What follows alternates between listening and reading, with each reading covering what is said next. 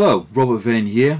Uh, today we're going to be using Adobe InDesign CS 5.5 to set up a trifold leaflet template. Um, subsequent videos I'll show you how to add pictures and how to add text, but this first one is just how to set up the leaflet itself.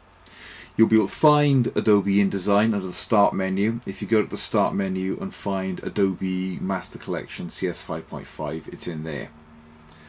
Okay, once you've got that open, you'll be shown something that looks like this.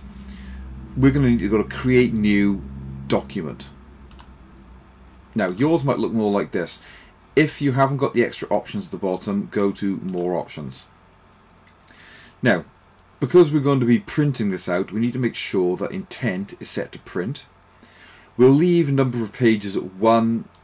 Um, make sure the facing pages are selected though. I'll show you how to add extra pages using the um, the different panels later on. Now, it should have set to default be on orientation portrait, but we need to change it to landscape. Um, it should be set to a A4 as a default. If it isn't, set it to A4. Rather than letter, which is American A4 equivalent. So make sure it says A4. Columns, we'll leave at 1. We'll change that as necessary. Margins, now defaults are 12.7. If you've got that little chain link selected, it'll all change at once. We're going to change that to 5 millimeters.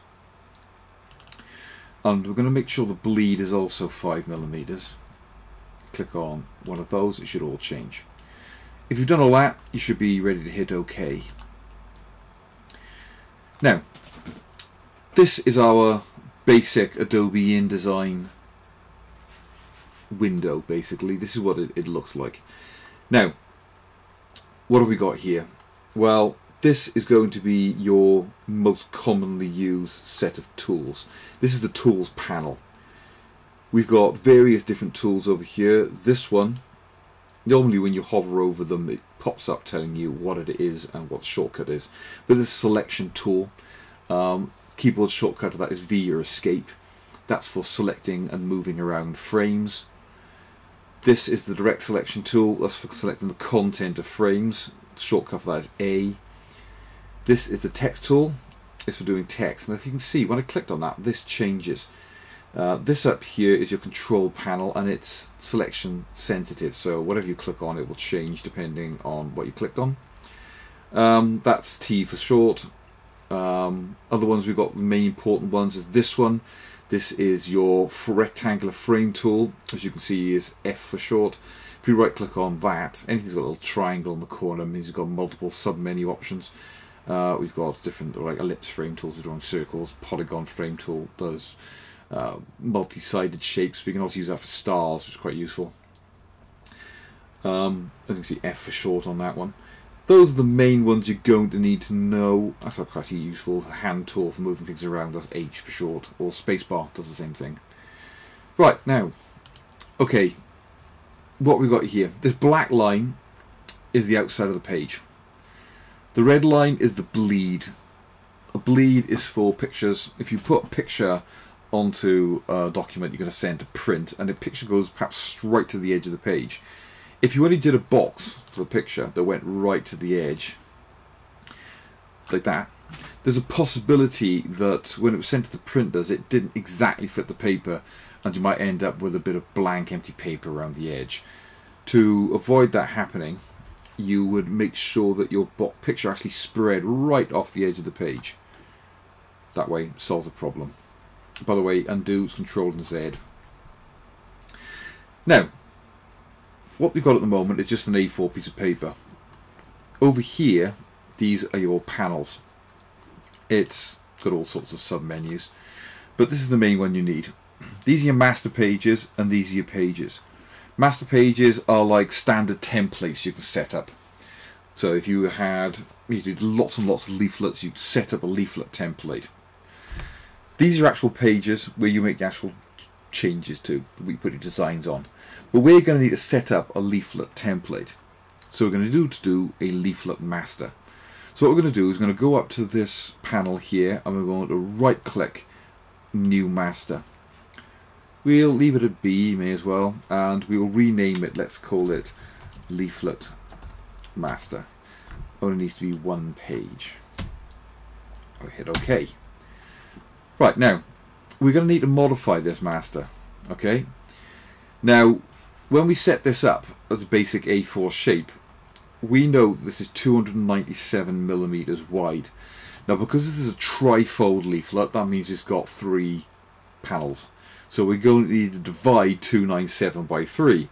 Now, if we do that, we can do 297 divided by 3, we can see it's 99. If we multiply that by 2, we get 198. That means we're going to need to have guidelines at 99 millimeters and 298 millimeters. Sorry, 198 millimeters. Now, to do that, we're going to need to drag some guidelines out from our rulers. If you can't see the rulers, go to View, Hide or Show Rulers, which is Control and R for short. Now, what you need to do is you left click in the ruler and you drag out your guideline. As you can see, it gives you an X um, position number. This can be a bit fiddly to get it exactly to 99 and when you have to let go, to be very careful that it doesn't move. That can happen quite easily. So we need to do another one out to 198. Well, that moves slightly. Got to be very careful doing this. Try again. 198. That's better. Right, so that will be our first fold, that will be our second fold. This area here will be the front of our leaflet. This area here will be the back of the leaflet, and this will be the inside fold. It folds inside these two. Now, what are we going to do? We need some safety margins, because like I said, that black line is a safety margin. Anything that goes outside these pink and purple lines might conceivably get cut off and we print. So we need another two guidelines on either side of our folds. So 99, if this is 5 millimeters, we need to take 5 off 99, which is 94. So we'll drag another one out to 94 millimeters. And 99 plus 4 is 104. So we'll drag another one out to 104. Same with this one. 198 minus 5 is 193. And 198 plus 5 is 203. There you go. So these are all safety margins. Now, this is our actual page. These are just our templates. If I double click on the page here, you can see it doesn't match our template. That's because it's got a little A in the corner, which means it's based on a master. But if we drag that onto there, it'll now say B master. So when I click on that, it'll be the same. We'll also need another page. So if I left click and drag down here, I've now got another page. So this, which is page one, that's going to be our front cover there. That's going to be our back cover. That's going to be our inside flap. This is going to be our inside left flap, center, right flap. That is basically how you set up a leaflet template. Next video we'll look at how to do pictures and text. Thanks very much.